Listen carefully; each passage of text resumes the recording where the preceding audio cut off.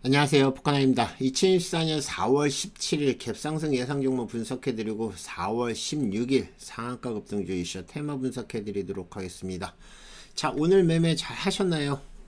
자 오늘 시장은 미국장에서부터 시작을 해서 음, 우리나라 뿐만 아니라 뭐 홍콩이나 어, 일본 증시도 좀 많이 빠졌습니다. 그래서 어, 전체적으로 지금 세 가지 이슈가 있다고 말씀드렸죠. 이스라엘, 이란 전쟁 관련한 이슈. 그 다음에 그걸로 인해서 오일 가격이 오르고 오일 가격이 오르면서 소비자 물가 지수나 생산자 물가 지수가 안 떨어짐으로써 어, 금리 인하, 금리 인하가 좀 멀어지고 있다. 이게 이제 가장 큰 핵심이라고 보시면 돼요. 그래서 주가도 빠지고 그 다음에 환율도 오르고 있는 그러한 상황이라고 보시면 될 것 같고 오늘 우리나라 같은 경우도 지금 올라온 종목이 상한가한 종목도 꽤 있어요 여기서 뭐 저희가 이제 신진 SM이나 한컴 라이프 같은 거 S바이오 택인가요? 이 S바이오 뭐 제주은행 윌링스 덕성 메가스터디 뭐 CCS 대성하이텍 이런 종목들 다 잡긴 했지만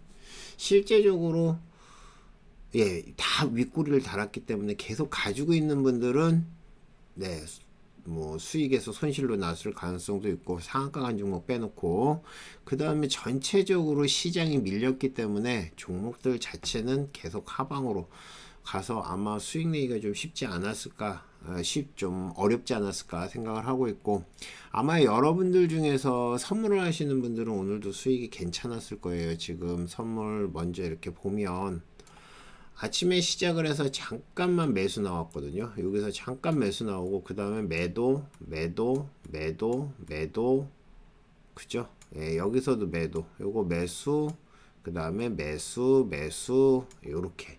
그러니까 시장 자체가 어, 주가가 오른다 그러면 상관이 없어요. 주가가 오른다 그러면 여러분들이 주식을 하셔도 되지만 실제적으로 주가가 빠질 때는 선물 만한 게 없습니다. 물론 뭐 어, 파생 상품이기 때문에 조금 위험하긴 하고 그 다음에 뭐였지만은 여러분들이 배운 대로 추세 그 다음에 사드 신호 이 두 가지만 가지고 여러분들이 잘 대응을 한다 그러면은 충분히 이런 장에도 수익을 낼 수가 있죠. 물론 뭐 짧게 짧게 올라오는 장도 있지만 실제적으로 예, 매도가 오늘은 크게 난 그러한 모습이라고 볼 수 있겠습니다. 자 이렇게 해서 움직임이 나왔는데 일단은 어, 전체적으로 시장을 먼저 좀 보고 그 다음에 예, 개별 종목에 대해서 한번 살펴보도록 하겠습니다. 지금 보고 있는 것들은 해외 선물이에요. 아, 해외 주식입니다. 해외 주식, 해외 지수인데 일단은 다우존스 산업지수부터 한번 보도록 하겠습니다. 다우존스 산업지수 말씀드렸던 것처럼 요즘 다우존스도 계속 쭉쭉쭉 빠지고 있어요. 어, 저점은 지금 요 정도가 보겠죠. 37,150원 정도, 아, 37,150 정도가 이제 저점인데, 지금 최근에 하락하는 걸 보면은 계속 하방으로 빠지고 있는 그런 모습이라고 볼 수 있고요. 어제도 어, 장 초반에는 괜찮았어요. 플러스로 해서 아주 괜찮았었는데 장 중반으로 가면서 갑자기 시장이 밀리면서 쭉쭉쭉 빠진 거라 보시면 될 것 같고요. 음, 그 다음에 나스닥. 나스닥도 오랜만에 큰 폭으로 하락을 했습니다. 그쵸? 음, 어, 보통 이제 이렇게 한번 크게 하락을 한 다음에 다시 반등이 나왔는데 오늘은 어떨런지 한번 지켜보시고 S&P 500 같은 경우도 지금 추세가 무너진 상황이죠. 그죠? 추세가 무너진 상황에서 얼마나 빠질지 예, 그걸 예측하긴 좀 힘들고 지금 올라올 때는 계속 조금씩 조금씩 해서 반등해서 올라와서 계속 어, 상 연속 상승을 만들었는데 좀 최근에 이제 갑자기 급락하는 모습을 보이니까 좀 불안하긴 하죠. 특히나 환율 같은 경우는 오늘 1,400원을 찍었죠. 1,400원 찍고 조금 빠지긴 했지만 예, 전체적으로 그, 어, 환율이 안 좋은 상황인데 미국 같은 경우도 환율이 저렇게 계속 오르면 좋을 것 같지는 않아요. 미국도 지금 내리고 싶을 거예요. 근데 어쩔 수가 없는 상황입니다. 그죠? 예, 어떻게 됐던 시장 상황은 이렇고 자 선물 같은 경우는 오늘 예, 2.4%자 어제 저점을 갖다 잘 지켰다고 말씀드렸는데 개파락해서 못 계속 밀리는 모습이었습니다. 그래서 흐름이 별로 안 좋았고 그 다음에 코스피 한번 볼까요? 예, 코스피 같은 경우는 예, 코스피 같은 경우는 지금 마찬가지 추세가 하방으로 꺾여서 계속 저점을 깨고 떨어지고 있습니다. 반등이 언제 나올지 모르겠지만 시장 반등은 조금 힘들어 보이고 코스닥 같은 경우도 계속 하방으로 밀리고 있다라고 보시면 될 것 같습니다. 뭐 이런 얘기는 뭐 할 필요는 없겠지만 어쨌든 시장 자체가 계속 밀리고 있는 모습이고요. 어, 금리 인상을 갖다가 아, 금리 인하를 갖다 못한다는 얘기가 나오면서 시장은 계속 빠지고 있다고 보시면 될 것 같습니다. 아시겠죠? 자, 오늘 저희가 이제 매매를 했던 종목들이나 한번 여러분들한테 알려드렸던 종목들 한번 보죠.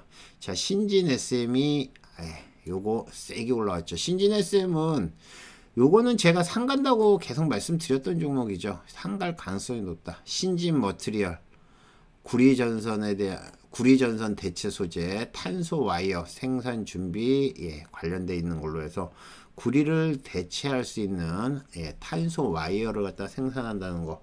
그 뉴스 때문에 움직임이 나왔고 중간에 뭐 밀리긴 했었지만 결국에는 상한가 붙었고요. 한컴 라이프 이거 M&A 관련한 종목이었죠. 예, 한컴 라이프는 한컴 컨소시엄에서 한컴 라이프를 갖다가 매각한다는 얘기 때문에 종목이 움직임이 나왔고 급등을 한 다음에 쭉 뺐다가 다시 올라온 종목이죠. 그죠? 자, S 바이오메딕스 요거는 줄기세포 파키슨병 치료제 기술 이전 가속화 기대감으로 올라왔다. 요것도 뉴스가 뜬 거고요. 제주은행은 시장이 밀리면은 항상 올라오는 종목이 있죠. 제주은행, 푸른저축은행, S 어, SBI 아 뭐지? 하나 더 있는데.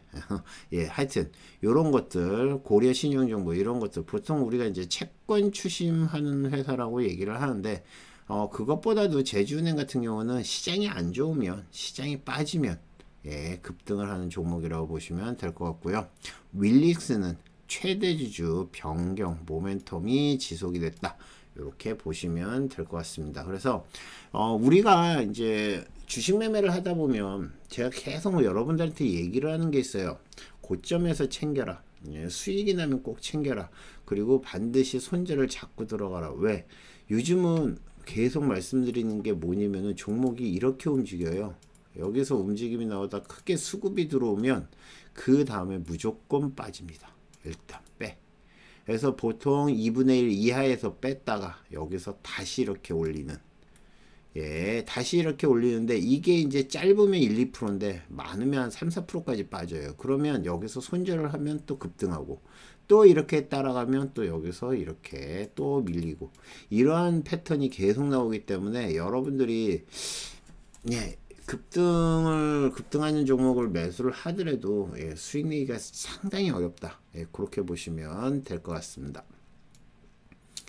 자 오늘의 상한가 한번 보고요 그 다음에 오늘 상승했던 종목들 내일 상승했던 종목들 보고 오늘은 어, 조건식을 갖다 잘 만드는 방법 이제 조건식 특강을 한번 계속 진행을 할까 생각 중입니다 그래서 조건식을 잘 만드는 방법 그리고 왜 만들어야 되는지 그리고 기초부터 이제 천천히 하나하나 하나하나 배우다 보면 그걸 나중에 조합하게 되면 여러분들이 아주 좋은 조건식을 만들 수 있을 거예요. 그거까지 설명을 해드리도록 하겠습니다. 자 오늘 상한가 간 종목들 한번 살펴보도록 하겠습니다. 우선주 어, 예, 우선주가 있는데 덕성 우선주가 있는데 그건 빼고 예, 우선주는 안 하니까 빼겠습니다. 자 신진 SM 네, 신진 머트리얼 구리전선 대체 소재 탄소 와이어 생산 준비 이슈 때문에 올라온 거다. 라고 보시면 될 것 같고 대동전자는 예 45억짜리 자사주 취득하는 것 때문에 움직임이 나왔는데 어 이거는 상한가 갈 줄 몰랐는데 상한가도 갔어요. 라닉스. 현대모비스가 자율주행 실증차 운행 소식 이걸로 해서 점상 갔죠. 한 번도 상한가 안 풀리고 상한가 바로 들어갔고 이것 때문에 이제 후발주들이 움직임이 나왔다가 그 다음에 바로 무너졌죠. 한컴 라이프케어, 한성, 한컴 컨소시엄이, 예, 한컴 라이프케어를 갖다 매각한다. 요것 때문에 이슈가 된 거고, S바이오메딕스, 예, 줄기세포 파키슨병 치료제, 기술 이전 가속화 기대감 지속이다. 요것 때문에 움직임 나온 거라 보시면 될 것 같습니다. 여러분들이 이제 이렇게 상한가 간 종목을 보면 아 그때 가지고 있을 걸 하고 뭐 하지만 실제 이 상한가를 가는 종목을 계속 저는 매매를 해봤는데 문제는 뭐냐면은 얘네들이 아 진짜 쉽게 안 올라와요 그리고 어 분명히 우리가 이제 눌림목이라고 해서 들어가잖아요 근데 눌림목이라는 데가 실제적으로 눌림보다는 밀릴 때가 많아요 그래서 그것도 조심해서 대응을 하셔야 됩니다 자, 2014년 4월 16일 상한가 급등주 이슈 테마 분석해 드릴게요. 자, 일단 덕성 우선주부터 대성 하이텍까지 볼 텐데 한번 살펴보도록 하겠습니다. 자, 일단은 네. 자, 종목을 한번 볼까요? 네, 덕성 우선주는 뭐 상한가 들어갔으니까 그렇고 자, 그 다음에 신진 SM부터 보죠. 자, 신진 SM. 자, 상한가를 들어갔는데, 장, 이게 시작하자마자, 지금 여기 뉴스 나온 다음에, 뉴스가 나온 다음에, 여기서 실제 신진 SM은 제가 여러분들한테 알려드린 건 여기였습니다. 예, 여기서 알려드렸는데, 올라왔다가 지금 여기서 뉴스가 뜬 다음에, 그 다음에 급등을 했죠. 급등을 한 다음에 보시면 여기서 1차 얼음, 2차 얼음까지 올라오고 예, 거의 상 근처에서 놀다가 예, 상한가를 갔는데 제가 여러분들한테 차트를 이렇게 보여주면서 요 밑으로 빠지면 요 밑으로 빠지면 손절이라고 말씀을 드렸지만 실제 손절한 다음에 올라오죠. 여기도 여기 때문에 올라오고 여기는 이제 여기서도 다시 여기서 요 근처에서 그러니까 요 근처에서 반등이 나온다는 거예요. 우리가 이제 아무 데서나 반등이 나오는 게 아니라 이런 것들은 상한가를 보내는 것들은 다 지켜보고 있는 겁니다. 그래서 어느 정도 빠지면 일부러 그쪽까지 뺄 때도 있고 뺐다가 다시 올릴 때도 있고 그 다음에 그 밑으로 빠지면 또 다시 올려서 예, 상승을 시키지만 지금 보시면 여기 빼놓고는 지금 급등을 한 다음에 지금 수급이 들어온 다음에 다 밀리고 있죠. 여기도 마찬가지. 그러니까 올라올 때 정리를 하시면 수익인데 조금 기다리면 그냥 손해가 날 수 있습니다. 그래서 이렇게 움직임 나왔고요. 대동전자. 자, 대동전자는 아이고야. 아, 대동전자는 자사주 취득 결정으로 해서 움직임 나왔는데 관리 종목은 안 보니까 그냥 패스하도록 하겠습니다. 라닉스. 라닉스도 점상 갔죠? 야, 이게 점상 갈 줄은 상상을 못 했는데 현대 모비스에서 4단계 자율주행 실증차 운행하는 것 때문에 자율주행 테마로 사, 상한가를 들어갔고요. 한컴 라이프케어 자 한컴 라이프케어도 상한가를 들어갔지만 뉴스가 뜬 다음에 제가 알려드리고요. 그 다음에 급등을 했다가 지금 여기서 하방으로까지 빠졌어요. 그죠? 여기서 겁나게 빠지는 거 봤거든요. 그런데 여기서 하방으로 빠진 다음에 얼음이 되고 바로 상방얼음 뉴스가 뜨면서 상방얼음이 됐고 여기서 그 다음에 상한가를 들어갔습니다.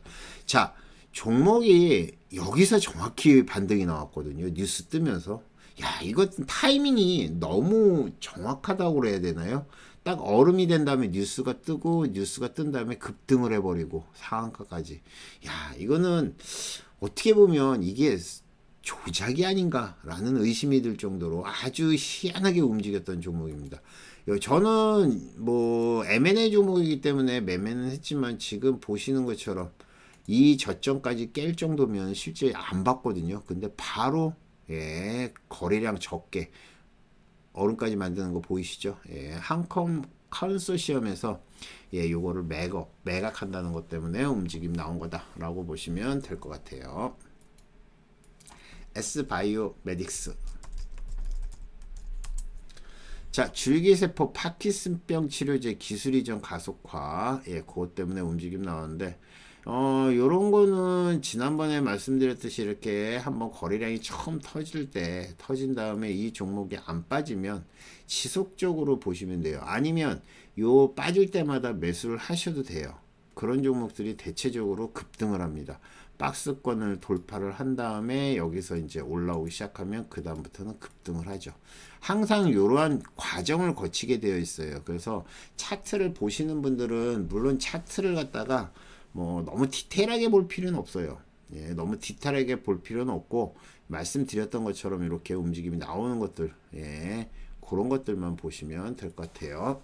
제주은행 제주은행은 채권 주식 관련한 종목이죠. 금리 인하 후퇴와 주가 락에 상승한 종목이다. 얘도 뭐 올라오다 패대기, 올라오면 패대기. 여기서 예, 초반에 이제 계속 주가가 밀리면서 올라오다가 오후장에는 또 급락을 시켰다가 다시 올리고 급등을 시키고 급락을 시키고 아주 그냥 갖고 노는 종목이었습니다. 요거랑 같이 움직임 나오는 거는 푸른 저축은행 그죠? 푸른 저축은행이 후발주로 같이 움직임이 나왔습니다. 윌링스 자, 윌링스는 최대 주주 변경 모멘텀이 지속된다고 그러고요. 덕성 자, 덕성이 오늘 왜 갔냐면은요, 덕성 우선주가 상한가를 갔어요. 그래서 11시까지 지금 계속 올라왔는데, 저는 덕성이 올라오면서, 어, 이거 초전조치에 무슨 이슈가 있나 라고 봤더니, 초전조치 관련한 이슈는 없더라고요. 근데 올라왔다가, 지금 여기처럼 오후장에 빠졌고, 덕성이 올라오니까 같이 움직임 나온 종목이 있죠. CCS. 예, CCS도 초전도체 관련한 종목으로 예, 움직임이 나온 거라 보시면 될 것 같습니다. 메가스터디 메가스터디 교육인가 보네요. 예, 주주가치 제고해가지고 뭐 배당 늘리고 예, 그 다음에 그 주, 주식 소각하고 뭐 이런 얘기 나오면서 올라온 거라 보시면 될 것 같습니다. 메가스터디도 많이 빠졌네요. 옛날보다. 네. 메가스터디랑 메가스터디 교육이 있죠 참. 메가스터디는 아휴. 예, 왜 이러냐 주가가. 근데 이런 것도 한번 튀면 또 크게 튀어요. 예. 자 대성 하이텍. 대성 하이텍은 이슈가 있었죠. 중동 지정학적 리스크. 지금 대성 하이텍 같은 경우는 이스라엘에 직접 그 방위 제품이라고 그래야 되나요? 그걸 공급하고 있다는 거. 그것 때문에 대성 하이텍은 아까 뉴스가 나왔고, 그거 알려드린 다음에 주가가 급등을 했다가, 여기서 지금 뺀 거 보세요. 여기서부터 여기까지 뺐죠. 지금 6,300원에서 5,000, 5,700원까지 거의 한 5% 이상 뺀 것 같아요. 5%? 5%더 뺐네요. 한 7, 8%는 뺀 것 같아요. 그죠? 7, 8% 뺐다가 여기서 급등을 시키고 급등시켰다 다시 뺐다가 또 올리고 이렇게 움직임이 나온다는 얘기입니다. 그러니까 여러분들이 어 하는 순간에 이미 급락이 된다는 얘기예요. 그래서 이런 것들도 마찬가지로 여러분들이 매매를 할 때 손절을 못 잡으면 손절을 못 잡으면 아마 손해 그리고 손절을 하더라도 한 3% 손절하면 꽤 손해가 크죠 요즘 그러니까 어, 손절되는 종목이 많으면 아마 손실이 클 수밖에 없습니다. 그러니까 짧게 짧게 대응하는 것도 나쁘지 않다고 보시면 될 것 같고요. 내일은 이슈를 받을 만한 게 음, 신진 SM은 저는 뉴스 괜찮다고 보거든요. 예, 그리고 내일 주가가 밀린다고 그러면 제주은행 또 움직임 나올 거고 한컴라이프도 가, 라닉스 이거 얼음 풀리면 단타 한번 가능할 거예요. 그렇게 보시면 될 것 같고 한컴라이프는 내일 이슈 나오는 거 보면서 하시면 됩니다. 자 내일 아침에 4월 17일 갭상승 예상 종목 한번 보도록 하겠습니다. 자 모비데이즈 요거 틱톡 관련한 이슈가 있었죠. 그래서 틱톡 관련한 이슈부터 한번 보도록 하겠습니다. 틱톡샵 관련한 걸로 해서 모비데이즈가 이슈가 들었거든요. 네, 모비데이즈가 아유 주가는 왜 이래요? 400원짜리네. 어쨌든 틱톡샵이 한국 진출 기대감 시간에 광고 테마 상승 쇼핑 앞세운 틱톡샵 한국 상륙 초읽기 알리보다 인력 더 뽑는다 뭐 이런 뉴스 때문에 모비데이즈 움직임 나오고요. 그 다음에 FSN 그죠? FSN 어 얘도 허, YG버즈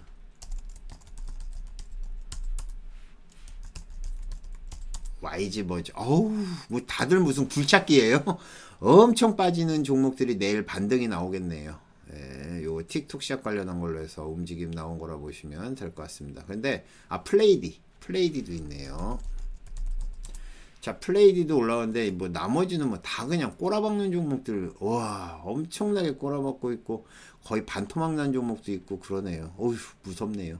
이런 종목들이 내일 잠깐 반등이 나오면서 거래량이 터지면서 올라온다는 얘기인데 잘 대응하시기 바랍니다. 아시겠죠? 네.